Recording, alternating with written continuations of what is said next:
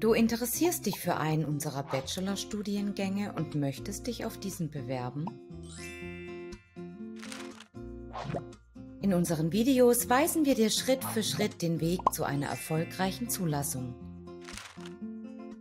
In diesem Video erfährst du zunächst, wann du dich bewerben kannst und welche Online-Portale für deinen Bewerbungsprozess wichtig sind. Je nachdem, wann du mit deinem Studium beginnen möchtest, bewirbst du dich für das Sommer- oder Wintersemester. Halte hierbei bitte die jeweiligen Bewerbungszeiträume im Blick.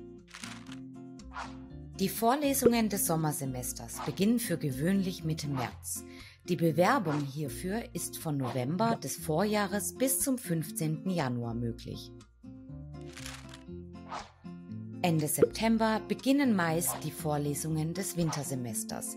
Für dieses kannst du dich ab Mai bis zum 15. Juli bewerben. Innerhalb der genannten Zeiträume müssen deine Bewerbungsunterlagen vollständig vorliegen.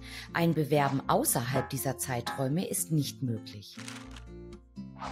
Für die Bewerbung bei uns sind zwei Online-Portale wesentlich. Zum einen die Serviceplattform hochschulstart.de, zum anderen der eCampus, das hochschuleigene Bewerbungsportal. In unseren weiteren Videos zeigen wir dir, wie du dich bei diesen Portalen registrieren kannst und deine Bewerbung erfolgreich auf den Weg bringst.